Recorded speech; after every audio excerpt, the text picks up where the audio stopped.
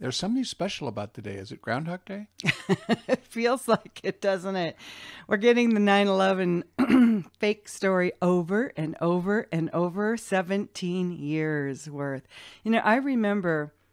Uh, I remember asking this out loud when before I realized what was going on. Why do they keep showing that one plane uh, it, uh, that hit the South Tower. Why do they keep showing that over and over and over again? I didn't realize that I was being programmed, brainwashed, as it were. Um, so I asked know, later. I answered my own question, I guess, but I uh, I just kept asking, why do they keep showing that? Do you guys remember how often they showed that? But yet, in a city of what twenty million, I'm assuming, eh, something like that Listen, if you go near your airport, any international airport, and watch even a 767 or a 737 come in for a landing, you can see it for a long ways. And not one person noticed that this airplane's like never, you know, these things are not flying in their normal path. What the heck? They heard sounds, they heard maybe a missile, they heard something didn't sound like a plane. Uh, but nobody saw the first plane. The second plane they kept showing us over and over. But one thing they did do is they stopped showing us the interview with the eyewitnesses that were down below that told us it wasn't a commercial plane. Remember that? Well, you know, one thing that has to happen in order for an airplane to hit a target that's, you know, a thousand feet, it has to fly at a thousand feet for quite a while yeah. in order to do that. I mean, it can't just come down from 5,000 feet, or you would have seen the plane. Uh, you know, if they actually had a, a real film of it, uh-huh. you would have seen it coming down, and it wasn't dive bombing; it was coming in. And it, in order to do that, that's a very low altitude, a thousand feet, for a plane to, you know, a, a big plane like that to fly. And you didn't see that, and nobody saw that. That's true. Just for maybe the last five or six hundred yards if anybody saw anything. And there's hardly anyone that saw anything. Now there's stuff that uh, came out on the police scanner to the you know uh, 911 call in to the dispatchers that people were saying that they they thought they saw missiles being launched from the Woolworth building or that vicinity. So anyway, this is September 11th, 2018 and in lieu of your daily news show, we're going to just sit around uh, Ramjet and I, we're going to talk about 9 11. I don't know how long this is going to go. After it gets pulled off the Daily Show thing, it will be put on um, somewhere in the free videos. So, uh, you know, or not the free videos, but in somewhere under that 9/11 Truth or the Galley Talking interviews or some somewhere there, so you can find it because we're going to talk about how these books came about. So the fact that the government is just bloviating still again an, another year later about what happened or really what didn't happen, it kind of is like Groundhog Day. It is. That's why I was kind of laughing when you when you said that because it's like it is. It's over and over and over. And now what's interesting to me because I really went down the groundhog hole, the rabbit hole. Um, and what I've discovered that's in the fourth book now, um, by the way, almost, well, quite frankly, uh, almost every a character that you meet in book four is real. And I just changed things about them so you don't know who they are. Mary Carter, by the way, just so you know, if you haven't read yet, that's okay. Just remember this Mary Carter is not her real name. Uh, her story is very real. Uh, her location is not real. Um, but her story is real. The dates and the timelines and who is involved are real. Um, but Mary Carter Paints is a CIA front company from years ago. You can Google search Mary Mary Carter Paints, and you'll probably find out it's a CIA front company. But uh, that was just kind of an in your face thing because of the CIA uh, stuff. And in a sense, it's a in your face to the trolls that came out and thought that my uh, I know my computers are all based on proxy servers, so I'm about four or six or more uh, states away from where my real location is. Has to be that way. and why is that? Because people started uh, in the truther movement, uh, started looking up my IP address that was attached to me and making claims that I was out of Langley, Virginia. So I was a CIA agent. And there are people like Jim Fetzer and some other lunatics online that claim I was CIA, my husband's NSA. And it's just complete insanity. And uh, listen, if you sniff around my IP address, guess what? You're going to find it goes all over because it's not ever where I am physically. well, I remember early on, I think I think it was a Facebook account of yours. You put actually that you were in Langley, Virginia, and people believe that. Yeah, I did because somebody had already accused me of being a CIA, so I just facetiously went in there and posted yeah, my location was Langley. And that's kind of, you'll see that in book four also. my character, Rosalind Langley. It's another in your face. But these guys have been so caught and so busted. Uh, so, what I really want to talk about today for you guys, because I know there's a lot of new members and stuff, is kind of what happened to me excuse me, I have my morning thing. I'm having my lattes. I'm, I'm literally planning to sit back and just talk about this and let it flow. As everybody's favorite shows are just kind of like when we just don't have a direction.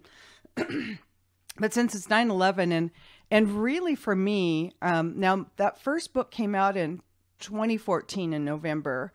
Uh, I had written it mm, probably in 2011 12 somewhere in there and i started looking into the anomalies.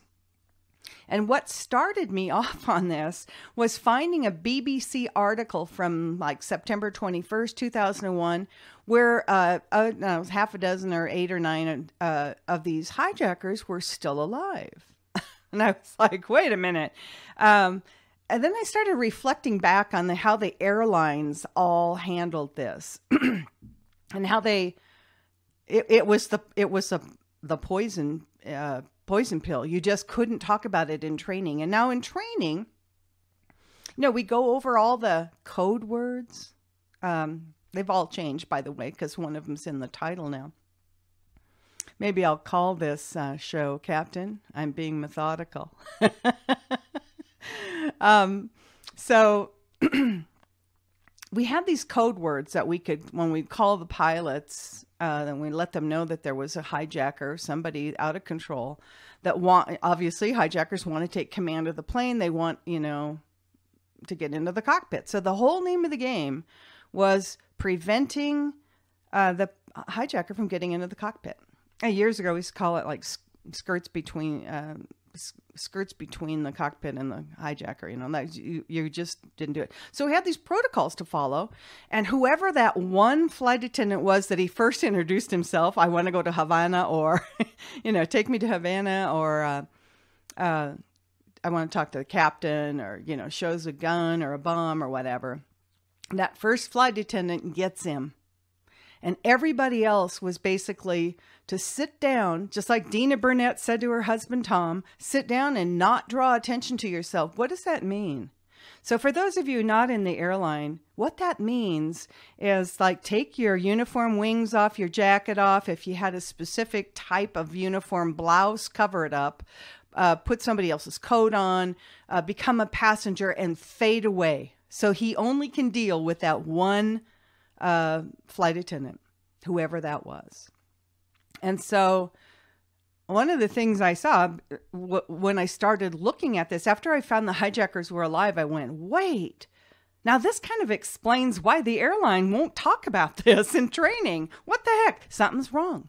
Something's wrong that these guys are falsely accused the Saudi government threatened to sue the FBI initially, and I never could find where that lawsuit went or if they just had a huge payoff or exactly how that was handled with the FBI. But now looking back, we have 2020 vision. We know how dirty the Department of Justice, the FBI, and the CIA all are, don't we? We can see it. We're in an ongoing coup against our duly elected president. So looking back now, that's kind of what I wanted to do on this is just kind of talk about how this all happened with me. And this is why uh, I really appreciate um, Marksman, Texas, in, in the chat room. for advising people to read all the books because it's how I woke up in a sense. Now, as a flight attendant, I saw them not follow protocol and I couldn't understand why. And I couldn't understand why the media would make them out to be heroes because they weren't. They didn't do the right thing. so they called all the wrong places, all the weirdest places. I mean, listen, we didn't have any magic uh, powder to get through to any reservations agent quickly, but we did have a number that would be answered quickly called crew scheduling, who had the ability to hook us in with everybody from the CEO right on down the line to the SOC or the security offices that would handle the hijacking dispatch and all of those people. Boom, boom, boom. They've got every number right there. Just push you right on through. Well, you know, when you think about it, uh, since it wasn't happening in real time in the sense that the planes were not being hijacked by uh, Arab passengers, they couldn't call crew scheduling. They couldn't do the things that were necessary for them to do because it wasn't real. They had to yeah. make it up. So they had to do stupid things like call uh, reservations yeah. or, or, their spouses or their spouses or, or something else because they wanted us to believe what what they were you know what they were trying to sell basically yeah and they were doing a really lousy job but the horrific pictures that you would see associated with that you believed it. At least I sure. believed oh, it. yeah, I did too. Until I found the hijackers alive, and that just stopped me in my tracks. And I thought, wait a minute. And then I started to remember that in 2001, uh, 2000, now I just had training, uh, my yearly training. So, and nobody ever said anything about Osama bin Laden trying to hijack planes out of Frankfurt. I just read a, I mean, there's just so much goofy stuff going on right now that it's just crazy that Bill Clinton knew that the 19 Arabs were planning this and the hijackers. Well, th- th- these guys literally, literally are making a story. And this is Judicial Watch, so I just kind of lost a whole bunch of respect for them about a war game. Fake names, you know, that it was supposed to be a representative of Osama bin Laden, you know, some sheik who's part of a some royal family in the Middle East. It was all just a a, a, a game a war game. There were lots of them going on that day. And so they've gotten a hold of this document. Now they're blaming the Clintons, and it's just a bunch of political BS. There were no 19 Arabs. And if you once you grasp that, then you have to ask, well, then, well, who were the hijackers? Well, what was the story all about? And so that's kind of how this happened for me because then I started driving into this, uh, looking really closely at, well, what did happen and how did it happen? Now, I'm very aware of the flight termination system, the remote control system. Um, and now I'm very aware, and I can talk about this a little bit now because the person that I, one of the people I, I dealt with that uh, contacted me about um, the company Ptech, which they've changed their name several times since then. Um, and this was a Middle East owned co- uh, company, a startup company. Michael Chertoff put got them involved in the U.S. government. They were into 22 um, U.S. government systems, military, uh, White House, uh, Air Force One communication system, most of the major banks. And this is at Ptech. They had a back door into the PROMIS or uh, software by Inslaw. You can look all this stuff up. It's real. And so when I started to uh, look into that. I remember in the early 90s when Boeing was offering this to every U.S. carrier, and United and American bought it. I know that they did because I've talked to people that were instrumental in the whole process. But we were, uh, I remember sitting around, and probably I was in Tokyo. Uh, with some pilots and a crew, just as we all go out to dinner and we start talking. Well, this whole thing had just come to the surface, and so what they were saying was this this flight termination system it was kind of a plug-in for the what's called the flight management system. That's the flight computer that sits between the uh, captain and the first officer on the floor. You, if you walk, look in the cockpit, you'll see this big box on the floor. That's their computer that runs the airplane. That it really basically flies the airplane. So it's kind of like a USB drive. I mean, it's that easy to install this uh, flight termination system. But here's what they said: in the event of a hijacking, well, we had that on 9/11 four times we can take control of the airplane and land it remotely. The only problem is the pilots and the crew in the cabin, the flight attendants, can't communicate. And that's what triggered me at first when Betty Ong said, we, we can't, the pilots aren't answering their phone. And I'm like, wow, they must be, must have been taken over remotely. But the reason for that was, I, at least I'm assuming, is that they didn't want anybody to be able to talk outside of the airplane. I mean, in other words, to call the the uh, flight attendants or to call the ground. Yeah, there was no communication for the pilots at all once that. And it wasn't for the over. for the detriment of the pilots; it was for the detriment of the hijackers.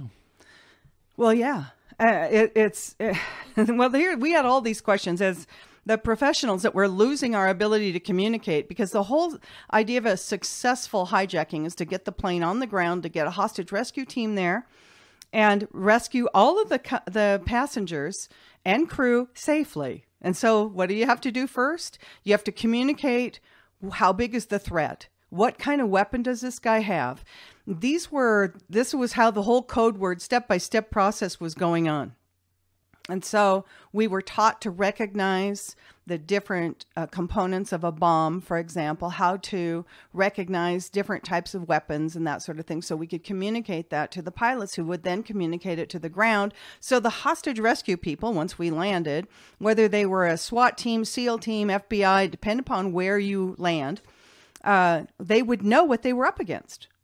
So it was a successful thing. That's kind of how this, why this whole thing was, and it was set in stone. We got taught this every year. So what I started to see then with the two, the first flight, American 11, was the two flight attendants didn't follow protocol. They didn't say the same information. They didn't say the right information. Betty Ong kept saying where she was sitting in her jump seat. That doesn't matter.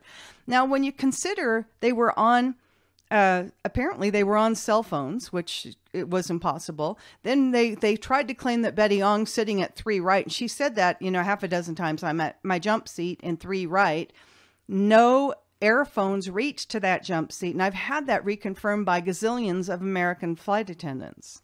Well, I think it's true that captains of airplanes are very, very possessive of the airplane and the passengers. I'd say protective. Well, yeah, protective and yeah. and, and, and possess- Yeah. possessive, but they will do whatever it takes. And I think that was the reason they didn't want the uh, uh, termination system is because they lost control, That's and they don't like losing control Well, in our in, in, under any circumstances. in our our control, so to speak, our success in a hijacking was that communication, so that the ground people knew if they were up against a bomb that could go off, or they were up against a, you know, forty-five pistol, or they were up against, um, you know, whatever box cutters. Okay, so that communication was key, and that's why we sat around and said, "Wait a minute." let's not you know the pilots union wasn't real thrilled with this thing because we lost all forms of communication and that just stuck with me over the years and this i'm going to say this is the late 80s early 90s maybe as late as 92 um, the american airlines called theirs the flight interruption system i believe so you know they kind of gave it a little name a lot of pilots don't even know it's on their planes and after 2006 boeing started building a um, an autopilot. Uh, un- it was called an uninterruptible autopilot. They patented in 2006. It's a different system. It wasn't in place on 9/11, um, but it's like on almost all the Boeing planes now. So when MH370 happened, and you know uh, their planes to having issues, then you can kind of think, oh well, I wonder if that's what's going on. Which I thought right away with MH370, but that's another story. So I started looking at it because of that Betty's uh, statement that they couldn't get the pilots to answer their phone. But then I started looking closely. I'm going to say 18 minutes after departure, there's no way you would be wanting to call the pilots from the back end of the aircraft that's 159 feet away from the cockpit door.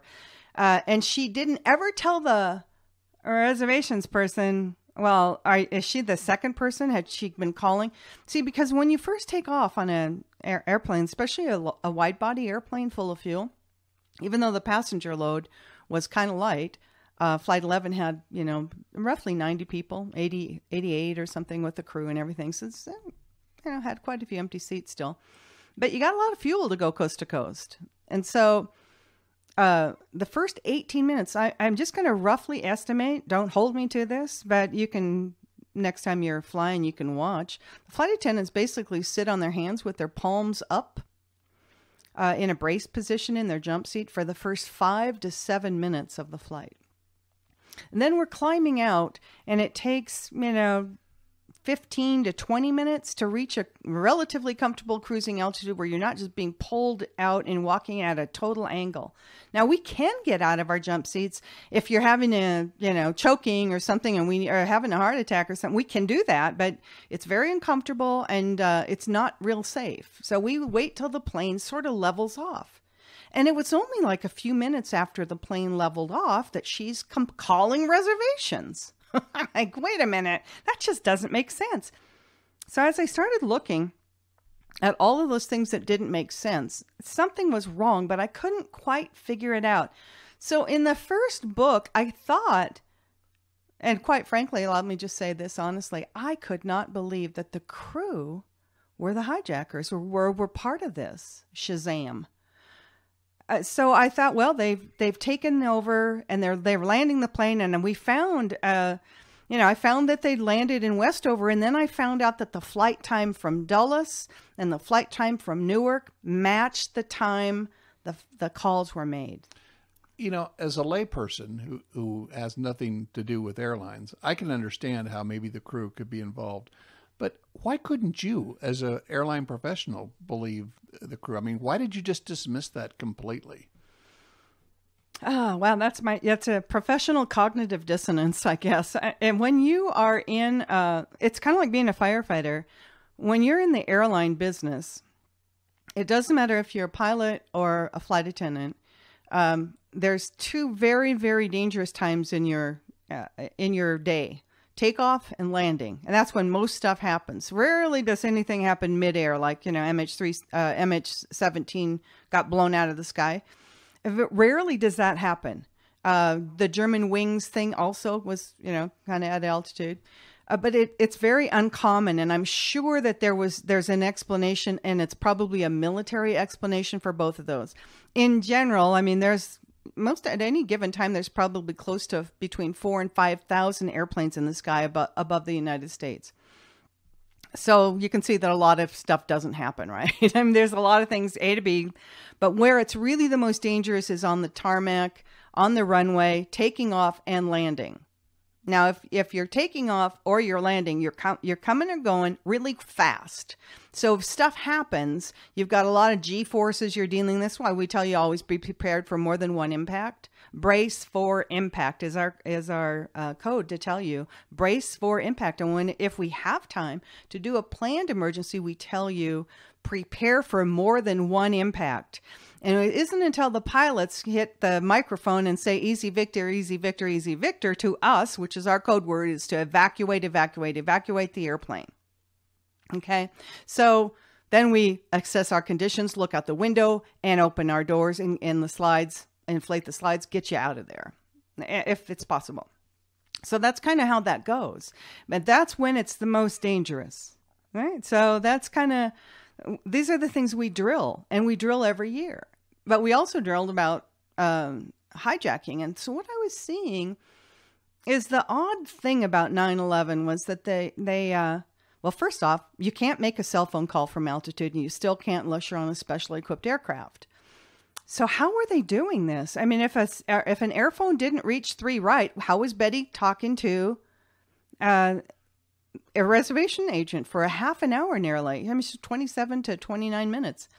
How did that happen? And then Amy Sweeney, who claimed, they claim, now her boss claims she called from her cell phone and they were personal friends, but the FBI claims she called from a air phone. She was at least in a passenger seat, but she said Betty was sitting next to her. Well, three right isn't near uh, is an, is a jump seat. It's not a coach seat. She was from the in the second to the last row in coach. Okay, then she said uh, 9B was the hijacker. 9B was the special agent, Israeli uh, special agent Sayeret Matkal, a highly trained assassin. Fluent in English, he grew up in Denver, fluent in Hebrew, and fluent in Arabic. And so they want us to believe that these two little five foot five, 20 year olds, basically early 20s, hijackers were sitting planning the hijacking, eh, speaking Arabic, right behind him. And then they got up and killed him with a plastic box cutter. Yet everybody that spoke highly of him, and they're, they're, they're um, uh, monuments. He's a hero, Daniel Lewin. He went by Daniel Lewis uh, when he moved to Israel with his family. Um, but Daniel Lewin, who was an MIT graduate, is sitting in 9B. He was also a hostage rescue guy. So he knew how everything worked on the plane. And I'm thinking, wait a minute now, there's one mistake a flight attendant would never, ever, ever make. So take this one to the bank. we would never claim you were a hijacker uh, to somebody on the ground. Uh, she was happened to be talking to her supervisor, but if you weren't, we would have to be 100% sure. Why is that? Because one minute we land the airplane, you're dead. you're going to be shot at by the SWAT team or the hostage rescue team, whoever meets us? Navy SEALs, whatever, FBI. So we would never make that mistake. And I thought, well, that's a weird mistake. Now, not only that, they were giving completely opposite details.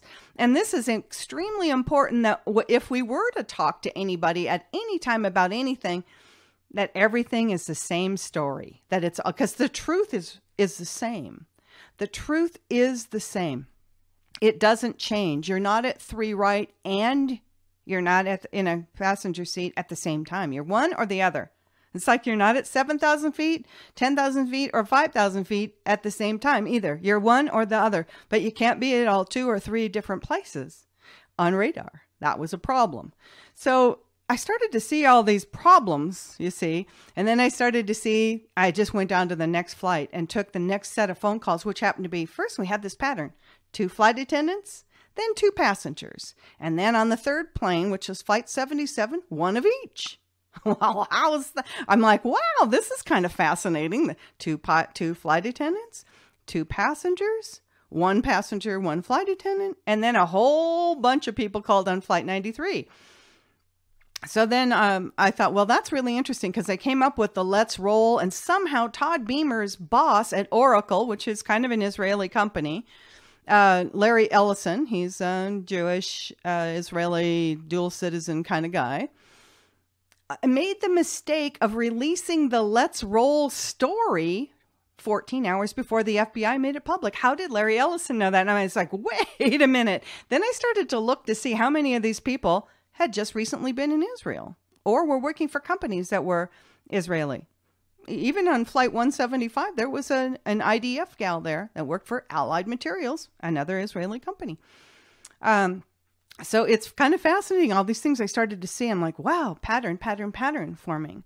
So when I first wrote the first book, I still thought that the crew couldn't have done this, that, that they used the flight termination system and I mean, I wasn't, I was pretty sure that there weren't any Arabs on there, but that's kind of what I started looking for then was, well, how, who was behind this? And I, you know, in the second book, it kind of leads you to who planted all of the bombs. So really what you're saying is it's kind of like you mentioned started or started to say about firefighters. You wouldn't ever suspect a firefighter to be an arsonist, just as you wouldn't expect a flight attendant or a pilot to be a hijacker. That's true, but oftentimes volunteer firefighters are the are the arsons. You'd be amazed how many times. But anyway, getting back to answer your question a little better. Um, when you're a, a, fellow crew member has your back. So if something happens on takeoff or landing and you have a crash, because they do happen, uh, if you get both your legs broken, you want to be sure that somebody on that airplane in your crew, whether you're sitting in a double jump seat with somebody right next to you, or they have to come up from the aft uh, door three right or three left, and they have to come up to uh, door two where you're at and get you off the plane. As a matter of fact, in a planned emergency, we even assign that to somebody. We have assignments. You help me open the door you uh, you know barricade the aisle till we get the everything open the chute open all that stuff and if i if i'm not coherent get my body off the plane we tell somebody that so we assume that our coworkers have our back and so when you go in it's kind of a sort of a buddy thing even if it's somebody you've never ever met and this is the case now still. Uh, even though uh, you retire from the airline, you're still in the airline family. And so it's kind of a family unit, and it's it, it truly is very difficult. This is the pill that you can't swallow if you're in in the industry that somebody would do this. That's actually a, a crew member, pilot or flight attendant. So, um, and that's kind of once I realized the you know as the books proceeded. After the second book was written, is when I got contacted by family members who knew the crew member in their family had been offered a job with the CIA. And that's really, had I not had a rather lengthy conversation with an, an adult child of a flight attendant that was involved, I would never have believed it. I, I probably to this day would not have believed it. But what he wanted to know was did I think that the CIA let his dad stay alive? And uh, I have no way of knowing that. Uh, if I use my logic, I think that they would they would definitely keep people that could help them if you if you had a special skill, like let's just say a highly trained military pilot, which happened to be all eight of them. Uh, one of them was a Civil Air Patrol, and a Civil Air Patrol, just so you know, is where Barry Seal got his start. he flew for the CIA, and it is basically the CIA's Air Force. And a lot of guys that don't go through the military, you know, you often hear that all eight of the pilots were military trained. Well, he was Civil Air Patrol. That's really not military, but it is the CIA's Air Force. So eh, take that to the bank. What does that tell you? And we see another person that's got this attachment to the CIA. Now, there's another thing that happened. Uh, I think uh, it's in uh, the third book, Methodical Conclusion, now, where there was a pilot. Let's just talk about this guy um, because he started out as a. Uh, I think he was Civil Air Patrol too, I think is how he started.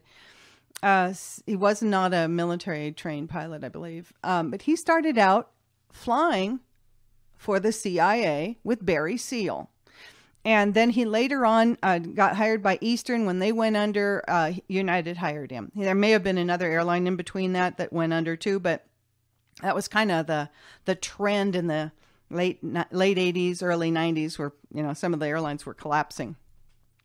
So he ended up with United, and this guy, his name was Philip Marshall. He ended up in I think it was 2013, 12 or 13 uh, murdering his two uh, teenage children, killing the family dog, and then turning the gun on himself. However, uh, while he was doing this, and no, none of his neighbors heard any shots, which kind of tells you silencer was used, which he didn't have on his on the gun they found. Um, but his wife was in Turkey. Hmm, interesting. Uh, so this starts to stink like a CIA, doesn't it? When you start to see stuff like that. Um, she conveniently was out of town. But here's the crazy thing he had written a book, self published a book called Bamboozle, where he claimed 19 radical Muslims were at the helm, even though he knew damn good and well, since he flew seven fives and seven sixes, that the, neither of those airplanes could be flown at five or 700 miles an hour close to the ground, or the 270 degree corkscrew turn into the Pentagon without the engines hitting the grass. I mean, he knew that. But he wrote a fake story that was right along with the government's CIA storyline that we're hearing promoted today. So that was called the Big Bamboozle, I believe. And um, then, right before he died, he made the mistake, the Andrew Breitbart mistake. I've got the, I'm, I know what's going on now, blah, blah, blah, blah, blah, blah, blah. And then boom, he's dead. Okay, so he was, he was uh, let me, what shall I call it? Digging around a boneyard called uh, Pinal. And it's in Arizona. And it used to be. It's in Marana. Marana, Arizona. It used to be a CIA base, but the CIA moved to Mojave. So I don't know if he didn't know that. And I've always questioned this. I'll just do this out loud for you guys because it's true. I question it till still to this day because the air traffic controller that was the working with me that had been working at Edwards Air Force Base knew that the U.S. Airways 757 was flying out VFR every Saturday night for you know several weeks, probably six to eight weekends before 9/11 happened. Was their getaway plane? There was a fuel bladder. Indeed, there was a fuel bladder put into that plane. It was pulled out of. If you've ever seen a boneyard, they kind of park the planes as close to wingtip to wingtip, and they're just together. But a friend of his son's. actually worked there and was part of putting the fuel bladder in and had told him about this plane mysteriously being pulled out by a tug out of the lineup and take uh, fueled because he, he was a part of it. He was working there and then took off every Saturday night leading up into 9 11. And before it did take off, a bus would show up and there were what he thought were flight attendants with roller bags and little black suitcases on wheels. And they would get on the plane and then they'd push back and off they'd go. And so he, the air traffic controller, knew about this because the airplane actually had been in a near miss with a Continental 737 outside of Barstow. So when he read the first two books and contacted me, that's when we realized, oh my God, they ha- they actually had a getaway plane. So the, we knew that there weren't 19 Arabs, but we knew somebody was involved in pretending to be on a hijacked plane, uh, pretending to be and handling the passengers. Well, you gave me an assignment once several years ago to go to Mojave and just try to check some things out that you were interested in. And I have to tell you that Mojave is the most schizophrenic place I have ever seen. On the one hand, they're always open to the public. They want to be friendly. They, you know, it's the, you know, the, the town of Mojave is is really not really much of a town. I mean, basically is the airport. Everybody that's read the books wants us to go there because I, I thought I did a good job of, of describing that but, little town. But the thing about it is, is you know they, you know they're just very friendly. But if you get actually into the onto the airbase and you talk to people, everything clams up. They are the most tight-lipped I mean, they will not tell you anything. If you want information like where's the bathroom, you have to look on the wall to find out, you know, where the uh, the guide is to get to the bathroom because they're not going to talk to you about it. It's it's really the weirdest place I've ever been. It's very interesting um, that it's a a place that inst- uh, experimental planes are flown out of. Uh, there is a CIA uh, base there uh, foreign pilots from intelligence agencies come in, and so you'll see all kinds of different uh, different airplanes, anything from a fighter jet, and you might see guys in uh, with uh, flags from other countries, not just us. Um, there's old ammo bunkers there, and this is what what happened is these air traffic controllers they started to watch this plane flying out of visual flight rules, and you can't do that as a commercial plane. And that's why when there was the near miss with the Continental guy, everybody started freaking out. Well, then they watched this pilot, uh, this um, air traffic controller starts watching, and it's happening every weekend. And as soon as they get into Vegas, which isn't a very long flight, um, maybe take you about 45 minutes or so from Barstow. I bet uh, it's not even that long. It's probably 30. Yeah, that could be. Maybe 20. Yeah, it's, it's very not, short. It's not very long. And they would file a flight plan while they were in the air to Dulles in Washington, D.C., which happens to be one of the airports. And so, um, you know, that was used on 9 11. So we started to see and we thought, well, you know, what could they be doing? Well, they could have been testing radar ho- holes and they, you know, they could have been doing all these various different things. So then we started to look at the radar and the radar holes in the radar. And then we started finding that in the northeast sector on 9 11, all the way up from uh, uh, North Truro, Cape Cod, all the way up uh, to Maine, the radar was uh, in, uh, inoperative, out of service, and it shows up on the daily logs that are in the FOIA data. Now, I didn't know how to read those, so it's a lot of uh, uh, like uh, abbreviations and code stuff, and and OTS is out of service. Um, so I I was like really, and so then uh, he's like, well, let's look at all these, pull all of these up for me. So we started sharing all these files, and that's kind of how all the that came together. But while they were watching this big Russian cargo plane, by the way, the Antonov 225, uh, I got a notice on my flight radar 24 the other day was actually flying relief into uh, somebody that somebody that just got hit by um, the typhoon. I think some somewhere into Japan, but it can't be Osaka because I think the airport's still closed. But somewhere relief efforts stuff, and these here airplanes are huge. So then that was going on at the same time. This gold was being transferred from the World Trade Center tower vaults into these old ammo bunkers, and so a couple guys, you know, like Jack uh, and Elmer Cooper uh, they started taking pictures and started sniffing around, but not letting anybody in town know they were doing that uh, because it's a very secretive town, just like you get from Jack and, and Elmer Cooper. Uh, so they and what the townspeople basically try to do is just discredit anything they say. It's kind of like the conspiracy theory tag that the CIA came up with when they killed uh, John Kennedy. And they created uh, if you don't believe the magic bullet you're a conspiracy theorist. And they discredit you with that title. And so and that's kind of that's what's happened. Well one of the things i found about 9-11 is there were so many uneducated inexperienced people with no data no knowledge no nothing out there making these crazy conspiracies that what happened now if I came out with the truth, if it wasn't in a novel, but if it's sitting there in a nonfiction, you wouldn't believe it. Because these people have muddied the water, and a lot of them, interestingly enough, I just see patterns a lot. A lot of them happen to be college professors with no background in aviation whatsoever. But what the interesting thing for me is the people that have come forward and shared stuff with me are people that were very aware of the remote control system, the flight termination system that was actually being tested by DARPA at Edwards Air Force Base. And the company Ptech, what was in the FAA basement on 9 11, was also on Edwards, working with this system. They were connected to the system. And so when I connected them, this person said, Wow, how did you figure this out? I'm like, Well, I just started digging and I started finding all these things connected and these people connect. And so then they all connected.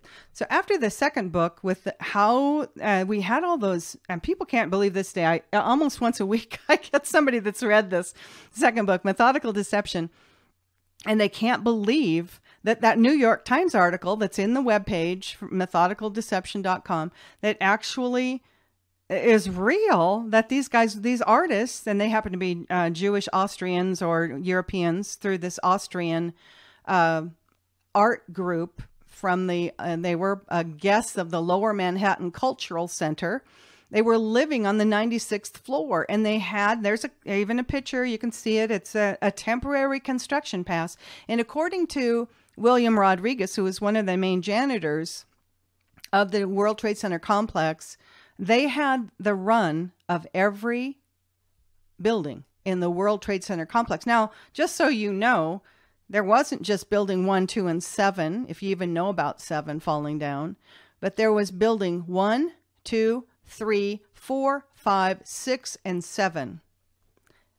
And none of them made it unscathed, but you don't hear about those. But if you go online and look for aerial photos of the uh, terror attacks, 9 11, something along that line, and go to your images, you can find aerial shots and you can see where it looks like a circular, completely like a donut cookie cutter, was pushed down right into the center of like building four, building six. You can see it. It's obviously they were bombed out, but isn't it interesting that the government's never ever mentioned those other buildings? And they were all bombed out. All of them. Something happened to them. Um, but there's no explanation. They don't even get mentioned. As a matter of fact, in the 9 11 commission hearings, they don't even mention Building 7. Uh, you have to ask yourself, how come? how come none of those buildings are mentioned ever? But you can see pictures. You know, it's kind of interesting that there's a lot of stuff that they did not want you to, to even look at or think about ever building seven being one of them. That's why it's not included. So that now when you know, when you look back at all the stuff that happened, the stolen gold, there was uh, the Brady bonds that were expiring, $260 billion worth of Brady bonds expiring September 12th. Oh, they, The papers all got uh, wiped out, and then the so I don't know how they laundered all that, but they put the SEC in in emergency mode for a couple weeks, laundered all this fake gold bonds and all this stuff. And this was George H. W. Bush behind the Brady bonds. So there was all kinds of insurance fraud. We I've had people contact me that were insurance underwriters.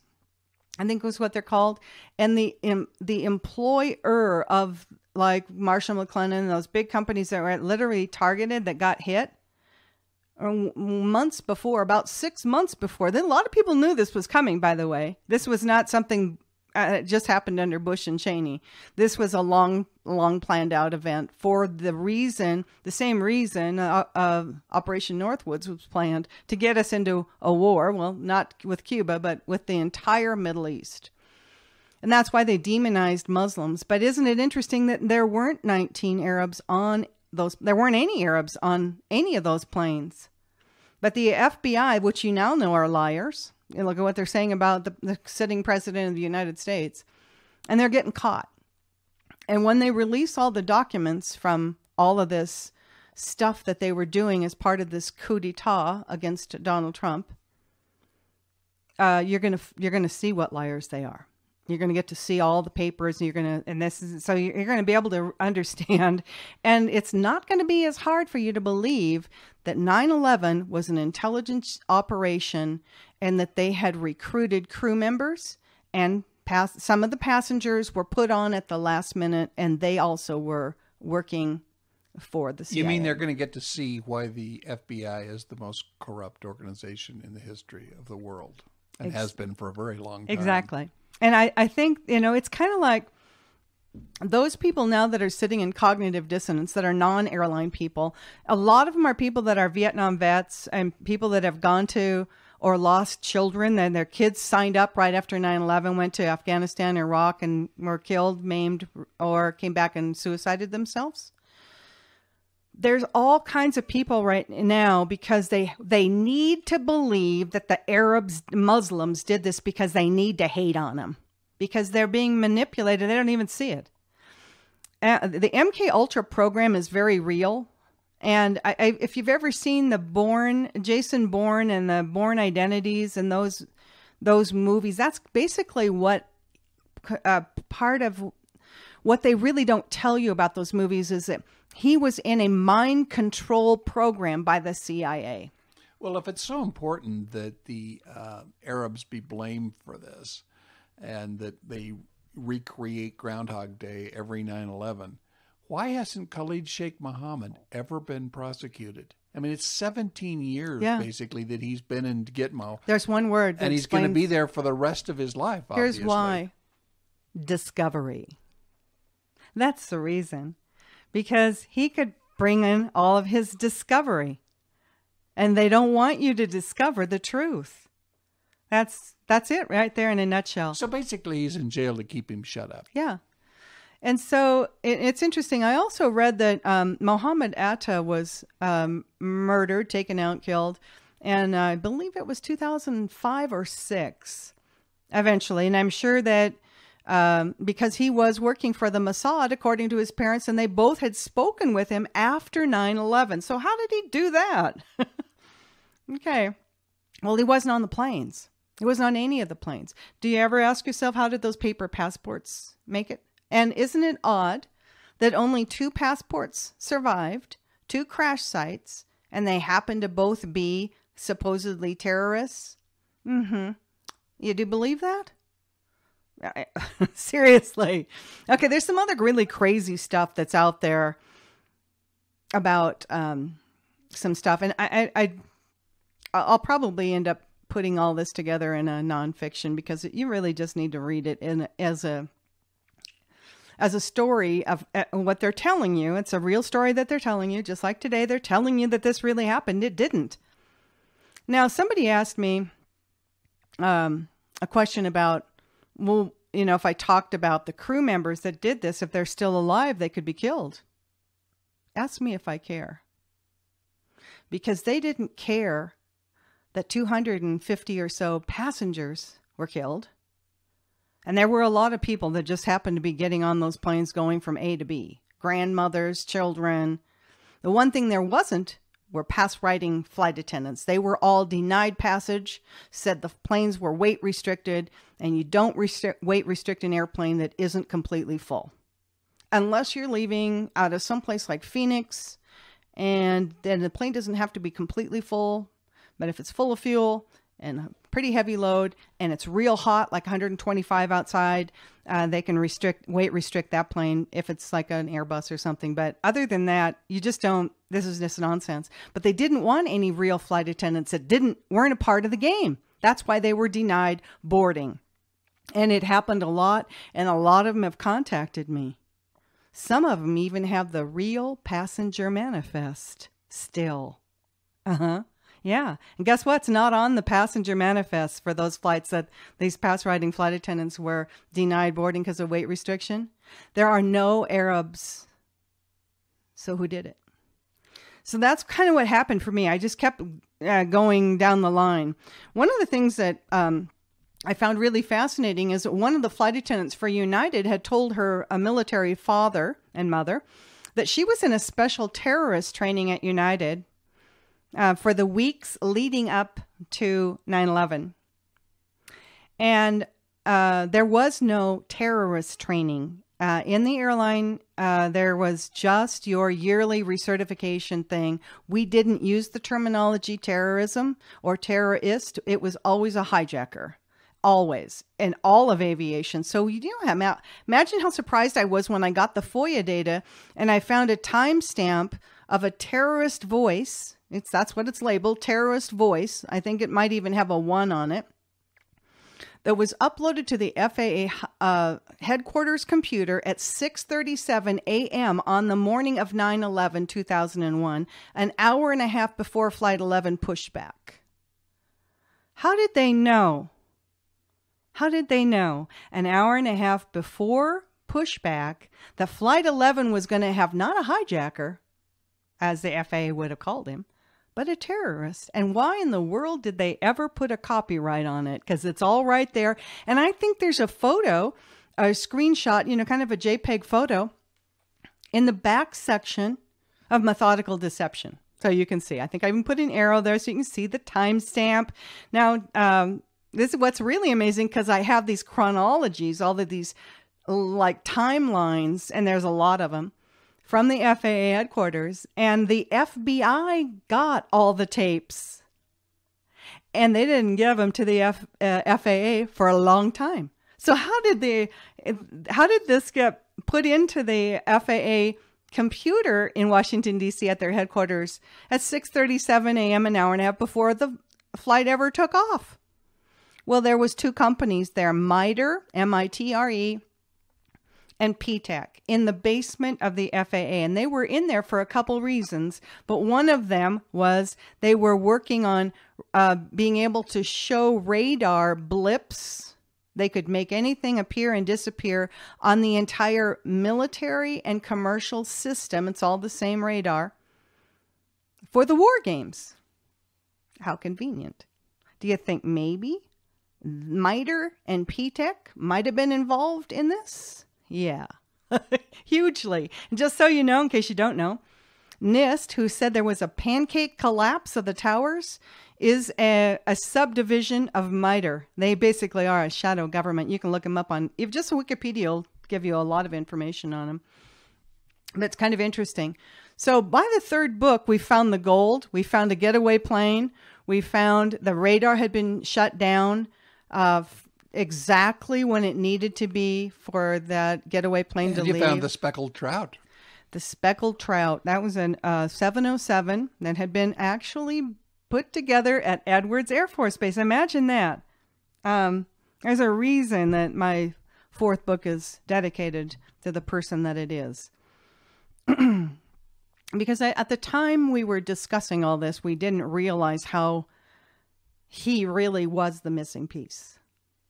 Uh, he had all this information. He had actually worked at Edwards when they were putting the speckled trout together. The speckled trout was right where Flight 11 lost communication in western Massachusetts at the same time. I have their flight plan from Andrews Air Force Base. Exactly where Flight 11 fell off their radar and lost communication with air traffic control, the speckled trout was there. Now, since he knew this plane because he'd worked on it and he knew everything it could do, said they could have done all of the remote takeover if that's what they did and landed that airplane from using the speckled trout. Or they could have wiped it off the radar. They could have just made it disappear to the air traffic controllers. They could have just made the blip go away, just like we know Ptech and MITRE could have done as well. So uh, they this airplane is pretty fantastic. It's out actually retired, but you can find a lot of information about the speckled trout online still. So if you're into aviation and and that. But just so you know, and here's an interesting thing the chairman of the Joint Chiefs of Staff, uh, General Hugh Shelton, who was on that plane, in his book, lied about where they were. I have their flight plan. I can tell you exactly where they were when all of this started. They were still in the United States. He claimed they were halfway to Europe, but that's not true because I know what time they left Andrews and I know how far they could get and I know all their waypoints. So he's a liar. Why would he lie? Probably because the speckled trout was a part of this. Well, here's another thing the speckled trout could do because he claimed that they were over the center of the Atlantic circling all day. But then later on, he says he flew over New York City coming home at uh, around noonish, noontime, maybe 11:30, right after the second tower had fallen. Well, let's say noon. But he didn't land because I have his flight plan and his landing. He didn't land at Andrews until 4:40 in the afternoon. Well, that's, you know, that's not a very long flight from New York to Andrews Air Force Base in Washington D.C. and uh, right across the river. So, okay, how does that work? So the guy's a liar. Why would he be lying? Well, here's another thing that the speckled trout could do. They could have helped, and they did, the getaway plane not show up on radar and uh, navigate its way across the Atlantic. Yeah. So it's really fascinating. You have to ask yourself why did General Shelton lie about everything? From from everything, from the time he landed, where he went, what he saw at the Pentagon, everything he said is a lie. And he's written this big book, and some big publishing company gave him, you know, probably tens of thousands of dollars up front to write his lie. Well, not only is he lying, but two people that were on the speckled trout with him have written stuff too, and they none of their stories mesh. So when you see stuff like this, and then you later on find out what's in book four, uh, and that uh, Mary Carter character, you'll uh, start to put the pieces together, and then you'll understand why General Shel- Hugh Shelton was lying, and why his crew were lying, because the truth is only one thing. It isn't three different stories. It just isn't. Sorry, it just, just doesn't take that long to go from New York City to Andrews Air Force Base. Trust me. So, how long does it take? Hmm, maybe about an hour, give or take, five or ten minutes. It depends on your headwinds or tailwinds. But um, so yeah, it's really interesting. So when I found, and it's it's fascinating, all this weird stuff that I just started finding. Now, when I got uh, book uh, one, the methodical illusion done, I, that's kind of when stuff started happening on a hmm, I don't know if I call it a spiritual level or a, it's almost a psychic level, but I'm not a psychic.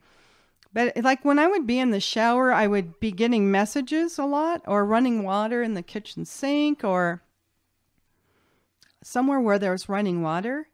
And I would literally get uh, a message to go down this rabbit hole or to look at this. And that's kind of how the rest of the books continued to flow. As as I was waking up to the fact that, oh my God, you know that in order to make the phone calls they had to have been on the ground. That was the first thing i looked really looked at. And i knew they needed a 10000 foot runway. So where do they are they going to find that? Within 20 uh, minutes of flight time from boston. Well i found it. And then people from that base that was a reserve base started contacting me. They weren't allowed to be on the base. They were called up activated and it was a logistics base. They flew a lot of what's called a C5 Galaxy transport, and they are larger than a 747. You can go on the Westover Air Force Base um, website. You can look it up on Wikipedia and click onto their websites in that box part on the right hand side. click on there and go to photos and you can see. And now remember when Betty Ong said he stood upstairs? You'll see the stairs in the hangars. And that's kind of another thing when the details that I found, I found multiple 302s on Betty Ong's four and a half minutes of taped conversation. Now, until recently, I didn't know 302s couldn't change. so I was like, wait a minute, I've got, I printed them out. So I know I have them. Um, and I printed a lot of stuff out. I have boxes of stuff because I didn't trust that the, and part of the reason was that I was advised to also do this um, by several people that had intelligence background. Print it because it may disappear from the internet. That's how history is rewritten. So that's kind of what's you know one of the things i have it just it is well one of the things that i saw with betty ong's stuff is that she said things that were just not they were not protocol for for one thing but not only did she say he stood upstairs he sprayed pepper spray or mace if you do that in a pressurized cabin we just saw what happens on the hawaiian airlines flight from oakland california uh, to hawaii uh, people get sick and so then we heard on United 175, uh, Peter Hanson said that they'd sprayed pepper spray or mace, and people all around him were vomiting and getting sick, but he wasn't. He didn't have any trouble. He didn't cough. His dad said, no, he just was talking. But he also, both those guys, both of the men who called the passengers were two men from row, I believe they were both in row 31, one on the left aisle, one on the right aisle. And um, they both didn't know where they were. One of them was actually a pilot or a radar intercept officer, I should say, because I found out from his actual pilot's wife that he wasn't really a pilot. He was the back seat guy. He was a radar intercept officer. Think about that. He was a radar intercept officer. Could he have had a laptop that could have intercepted uh, the uh, transponder? Maybe. But he looked out over Newark International Airport from five to 7,000 feet. Now, if you're under 10,000 feet, you know, you can't use your electronic devices. He's looking out and he tells his mother on the telephone that he's over Ohio. Trust me, you can't dis- you just can't mistake Manhattan out one side of the plane, the Manhattan skyline, the Hudson River, the Statue of Liberty's right there, and Newark International. Everybody knows it. It's right there. And it was 4 miles across the river from the Twin Towers. so, how could he be that confused? Uh, he lived in the Boston area, by the way. Uh, so, you know, you started to see this stuff that's just doesn't make any sense. The other guy who called, he told his dad that the he thought, I don't know why would he think this, that the hijackers were going to hijack the plane. Now, keep in mind, this thing's about five to seven thousand feet off the ground. That's like on your final descent. That's when the pa- the flight attendants are coming by and making sure your seatbelt's fastened and your tray table's stowed, right? Are you ready? Is everything aisle at your feet clear? That's what we're doing then because we're preparing for a landing. Neither one of them said anything about that. They thought they were in Ohio, and the other guy said to his dad he thought the hijackers were going to fly the plane to Chicago and fly it into a building. Who told him that? Because I mean, this was like a 10 minutes after something had hit the North Tower. And this is just crazy. How did this guy not recognize Newark if he was that close to the ground and a pilot? Well, guess what? At that point, I started to say, wait a minute. And then NTSB and the FAA radar files, when I say to you between five and 7,000 feet, you can only be five or seven. You can't be both. You can't be either or. Guess what? People will crash into each other in the sky. It's much more precise than that. So I started to see holes and problems. And that's when I started to look when was this file uploaded to the FAA headquarters? And the meta tags were, were before the crash, before takeoff. Uh, were, they were before the whole event, some of, in some cases, like the voice file of the terrorist voice. And that's really when I went, oh dear, this is just a, it was a complete and total fraud, a hoax. A complete and total hoax on the people of the world. Why? Look and see what happened. Go back, you know, hindsight's always 2020. What did we get out of this? Who who who benefited, right? Did anybody benefit? Well, interestingly enough, they claimed that 15 of the hijackers that really weren't on the plane were Arab, uh, were uh, Saudi Arabian. But Saudi Arabia actually benefited because the bin Laden construction company got the contracts to build a lot of our military bases throughout the Middle East, and there's lots of them now.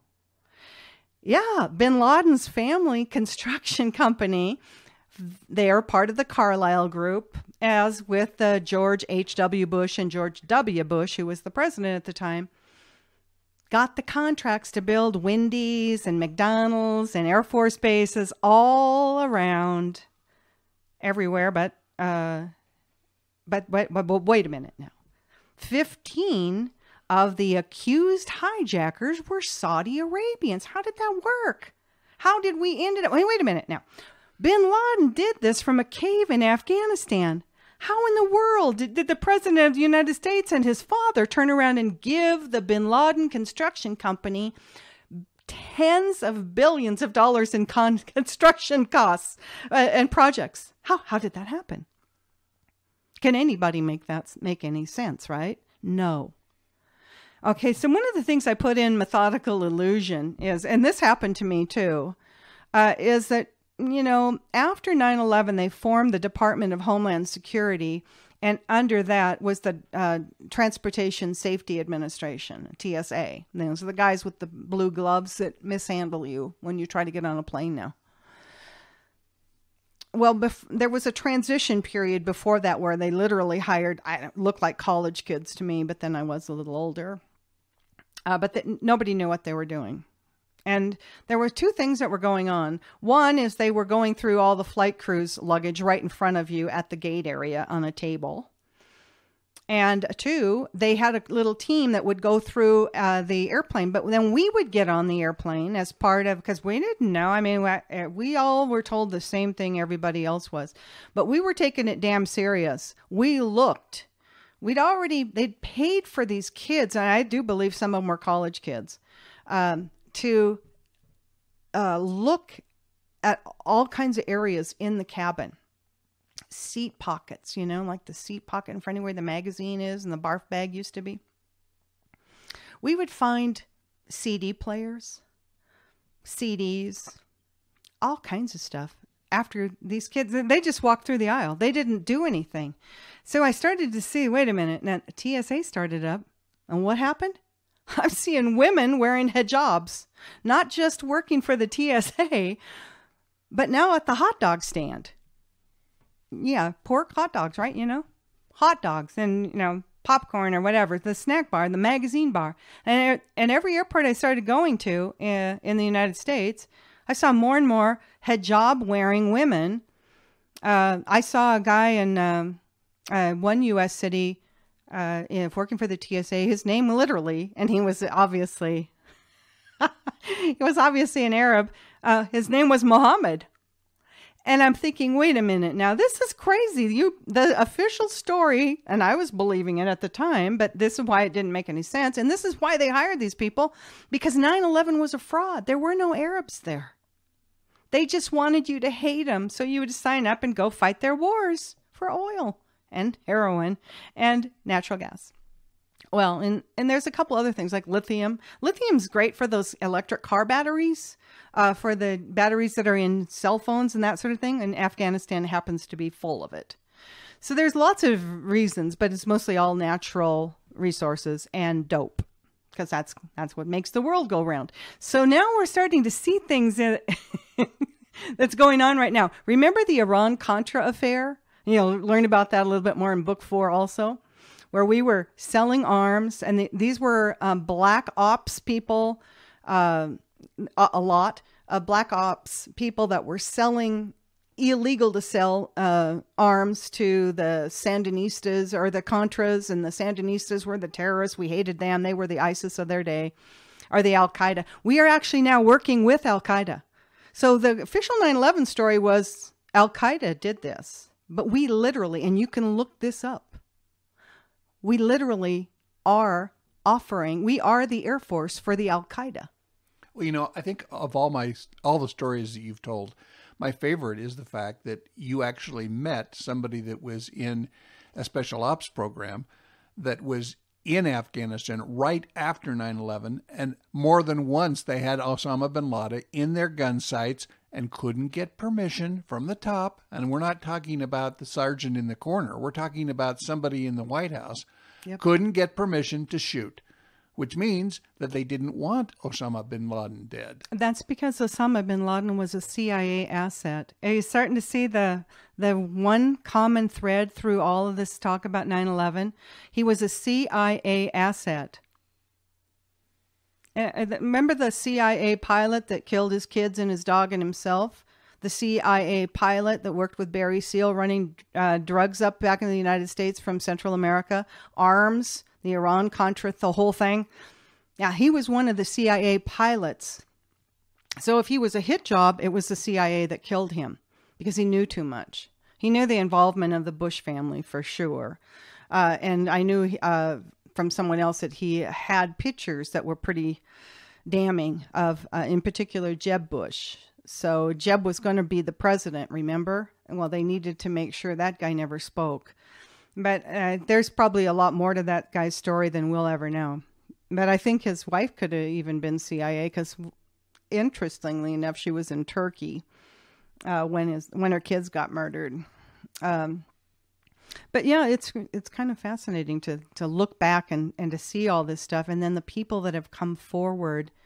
Uh, that shared their stories. And there's a lot of those in book four. There's a lot of history. And the reason I wrote book four was to just show you if you're still in cognitive dissonance and you still are having a hard time thinking, whether you're airline crew or not, whether you're just a passenger or just a public person, that there's no way our government could have done this. Just look at their history. And a lot of it's right there in big print and it's been declassified. So it's not my story, it's their story. It's proof that they, they have a history of this kind of stuff. The arms for um, arms for drugs deal. Uh, this was Pan Am 103 got caught up in in uh, a heroin deal. Uh, same kind of thing. I think Benghazi also was a uh, arms deal gone sideways. And now you have to understand that the intelligence uh, operations that do this arms and drugs exchange were not the only one. It's not just the CIA. The Mossad's involved in this too. I'm sure MI6 is as well. And one of the things that I found, and I think this is in methodical conclusion when you meet Chip, microchip, as he calls himself, but so people can remember his name um, chip, as in microchip, he says, uh, is that um, all of the intelligence agencies work together and they work together to pull off a stunt like 9 11 and to cover it up. All of them work together. And so they all benefited. So if you look to see who benefited, well, the oil companies, and look to see who who are the politicians involved in oil companies. Like I'm ha- talking uh, KBR, Halliburton, uh, Genie Energy. I mean, there's a gazillion of them, and just look and see. And the, you don't have to go very far to look at the John F. Kennedy assassination and the people involved in the oil there. So, if the FBI ever changes their name, they're going to call themselves the CYA. That would be very Got fitting. Me having would a it, sip of my latte. Would it not? Uh, yeah, maybe if if Trump uh, figures out how to dissolve this, I think we're going to see a very interesting week. I decided this would be kind of a fun uh, show to just talk about the 9/11 stuff. I'm trying. I'm trying to think about all the questions that people have asked me. Um, yeah, the first thing that happened ever was when I found the hijackers still alive. And a lot of them either had their ID stolen or had never ever been in the United States. And it's a BBC article from September 21st. You can still find it online. That was my first sip of the truth. And I just said, well, wait a minute. Now, this was probably in 2007, 8, somewhere in there, maybe the beginning of 2009 that I stumbled across that and started to really look. Well, the other thing you I don't think you've mentioned is all the eyewitnesses that actually saw the planes land in Westover. That's Yeah. pretty amazing. And there's a there's one in methodical deception, and that is a word for word of a signed, notarized affidavit. She is definitely willing to go uh, speak to Congress. Um, but yeah, there's like five of them now, and these are people who uh, live in lived at the time in Western Massachusetts. Uh, some of them aren't still in the same locations, so but at the time they lived in um, Lee, Stockbridge, Otis, uh, Pittsfield, in that area. It's which is west of Westover, but they were used to seeing airplanes coming in. And now keep in mind, Westover was a reserve base, so a lot of their traffic was, um, you know, weekend traffic or the summer traffic when the guys do their two weeks uh, of training and stuff. But they also flew these really large C5s, and they're bigger than a 747. And I know that because I flew a lot of military charters. And we'd bring a 747 100 in, uh, the original airplane, or a 200.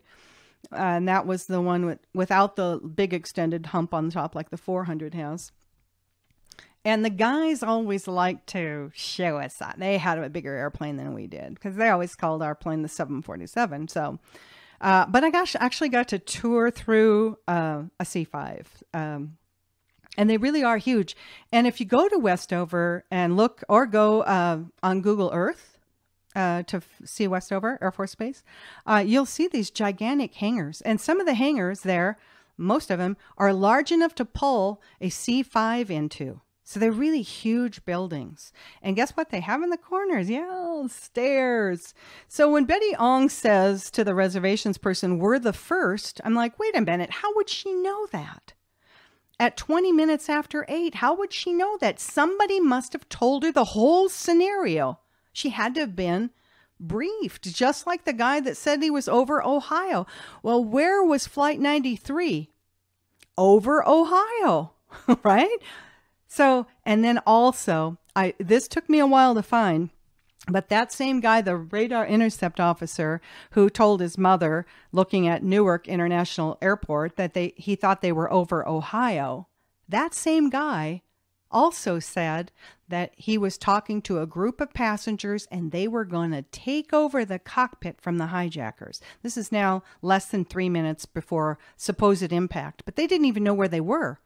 He didn't even know what was supposed to be out his window, which told me he wasn't even on the plane. The plane wasn't even there. That's when I started to look into the meta tagging and found out that this whole thing is faked. This is just nuts. And so uh, the fact that this guy said the scenario, let's roll from Flight 93, I went, wait a minute. Wait a minute. He also has been told the whole scenario, not just Betty Ong. And then Peter Hanson, the other guy, row 31 on United 175, he tells his dad he thinks they're going to fly to Chicago and fly into a building. Well, who would have thought that?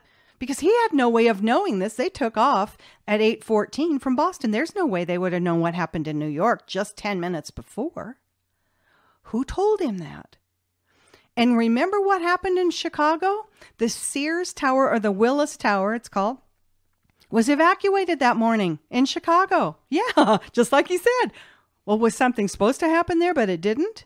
Possibly, because I've had people from a June 2001 uh, intelligence, it's called an OPSEC meeting, OPSEC meeting, that were told that there were six targets, and that meant there would be six aircraft that were commandeered or made to look like they were in this case. And something happened. Now, having flown the 757 quite often, I can tell you this. A lot of times you get the passengers all loaded up, they shut the door, the pilots go to start the engine, and there's a hydraulic leak that shows up. That hydraulic leak is often a 45 minute delay. And it's more common than you can imagine on the 757 in particular.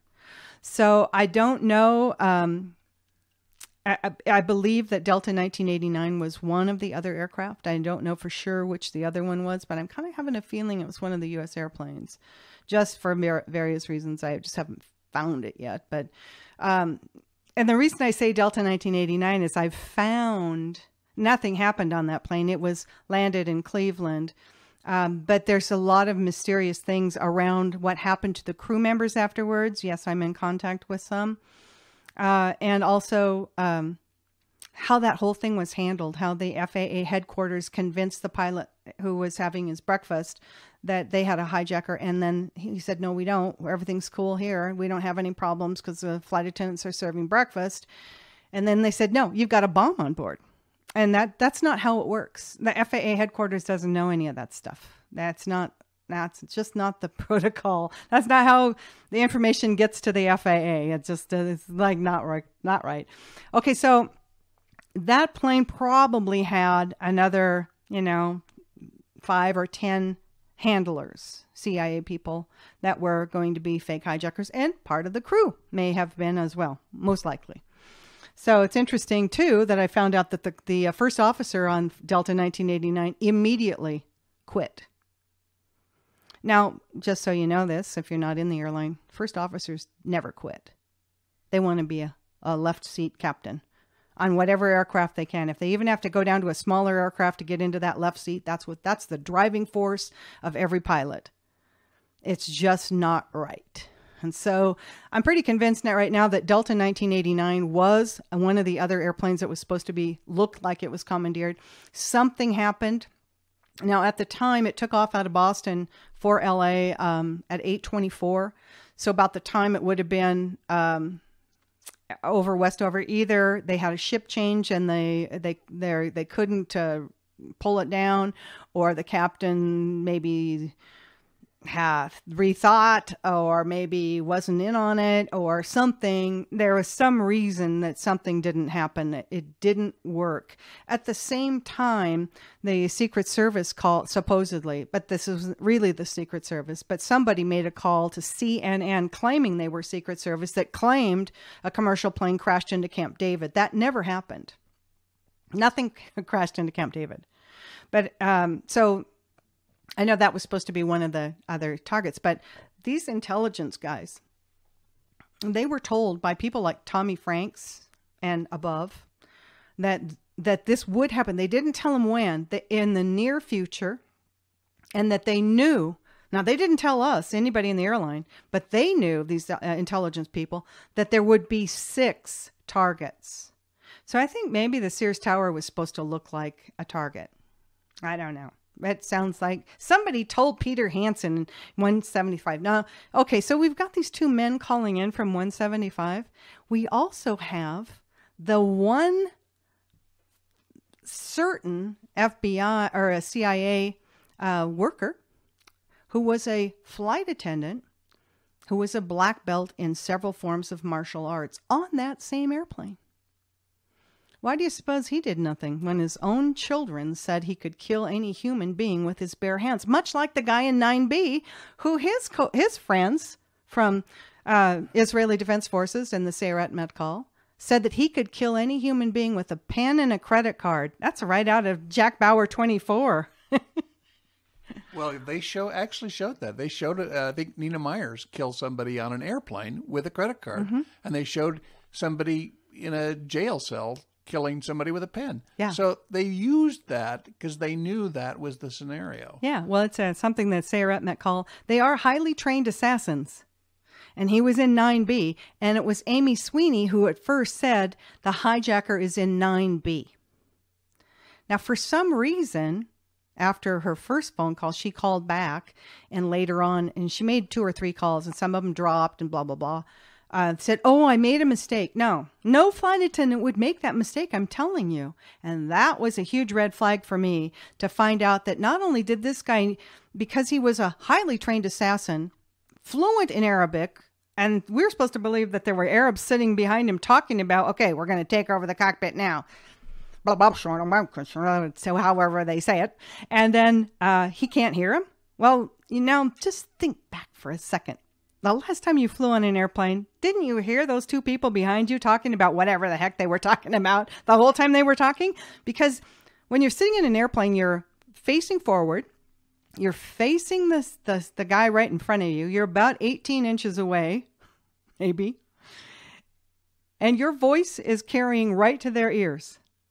Okay, so this is just a little bit of experience because I did commute from coast to coast, so um, I, have had lots of experience. Um, being kept awake by people talking from the seat right behind me in every class of service. it's not something that just happens at coach.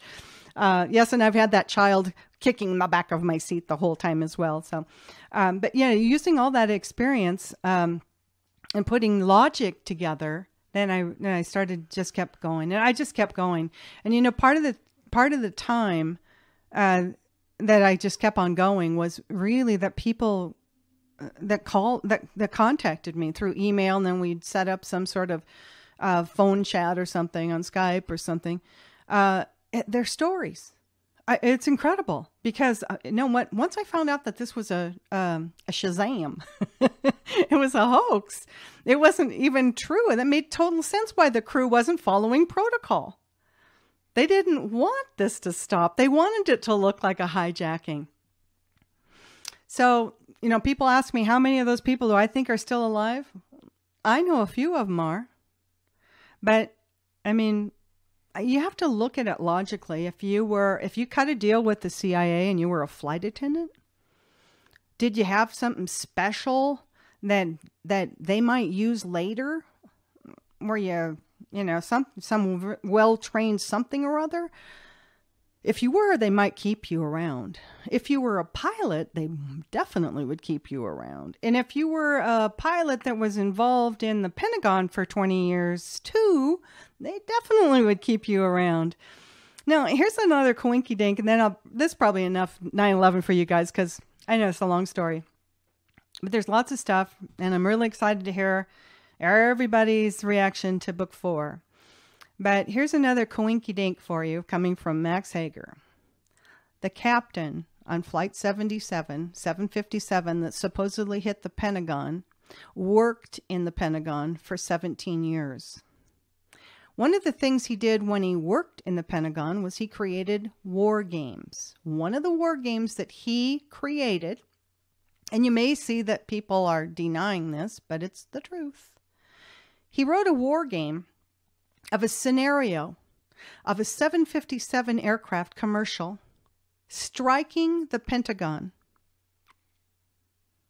And guess who supposedly was at the helm of Flight 77?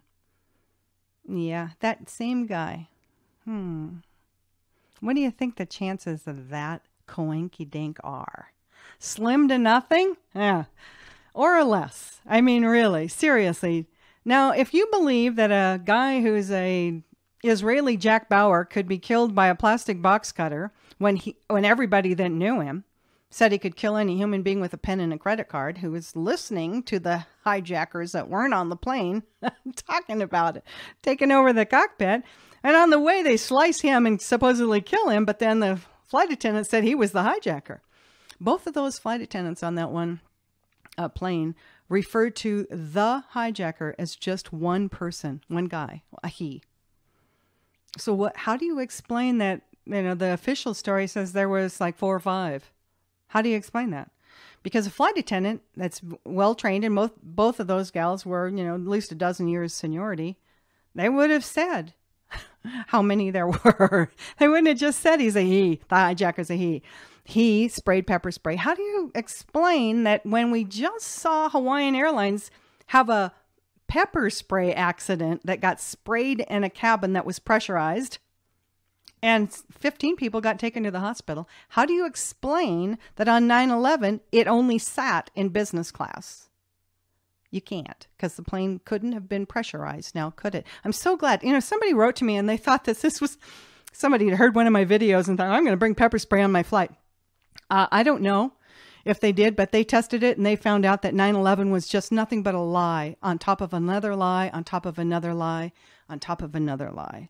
And so when people ask me, why did you write this? I want you to know this. The one thing that I kept through my mind through the whole series is this things are not always as they seem. So you need to be aware things are not always as they seem.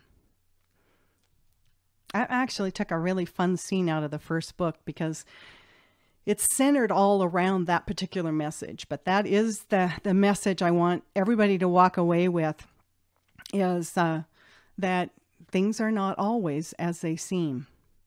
And so, you know, I look, sometimes I look now, and especially today, you're going to see all kinds of the official story, blah, blah, blah uh, out there, and probably they'll do some fundraisers for some of these pilots that are still alive, you know, because they're such heroes, right? Because they for, they failed to squawk 7,500. What make those guys heroes? Only the media. Because if you don't know what they were supposed to do, you don't know they really weren't heroes. But there is there's a reason for all of this now. This is the it's Operation Mockingbird, and it is programming you. It's just a form of MK Ultra mind control. But they did uh, they've done the same thing and it's a pattern. You're going to see it over and over. When you finish book 4, you're going to contact me and say, "I see the pattern now." And you're really going to see what's really currently going on in the United States under the coup we're and we're currently involved in a coup a coup d'etat. And it's exactly what they've done in Iran, in Guatemala, in Honduras, and Rwanda. Everywhere they've done all these coups, they've done the same thing. And you're seeing it happen right here in our very own country. They take over the schools, and it, it isn't something that happens over a weekend or a week or even a month. It takes decades. They take over the schools, they start teaching uh, against the form of government that they're that's currently there that they want to overthrow. They take over the media, so the media will take them, and they take over the police department so that the police don't protect the civilians when the uprising begins. Think of Antifa and Black Lives Matters. That's kind of stuff that's going on right now. You're going to see it all. I know you are, because um, it's big print now. So that's enough for today. I just wanted to give you guys some solid, something solid. And you know what? Since all the conspiracy nuts have muddied the water, who would believe this? That's that was their job, and they've succeeded. But there is proof, and the one of the main things that is the proof of this is something they never even thought of, and it's just one of those tiny things like the cell phones not working at altitude. That when you save a document on a computer, it does a meta tag. It's a time and date stamp. So when you see a voice file, a WAV file or an MP3, time stamped at 6:37 a.m. on 9/11 tagged as a terrorist voice, you know there's something wrong with this picture. Don't you? I do. Okay, so that's kind of stuff that I started to see and that's why nothing is uh, uh, nothing is uh, one particular altitude or one particular time. Uh, Flight 93 has probably 10 different uh, moments in time that they say it crashed. So, um, and Betty Ong's, uh, did her call start at 8, at 818, 819, 820, or 821? Because there's, if you look, you find all those time slots, but it only ha- could happen at one particular moment in time if it were real. So they muddy the waters with a lot of uh, details. It's kind of like what they did with the magic bullet. We were told Kennedy was killed by a magic bullet that hit him and the governor and went all over Hell's Half Acre from the depository through a tree. And so for 50 years, we were told the magic bullet. And if you thought anything else, you were a conspiracy nut. That's the CIA for you. So anyway, I hope you enjoyed this show, and, and I'll I'll uh, tag it something about 9/11 so I can take it off and put it over there so other people can listen to it later. If you have any questions, just put it in the chat room.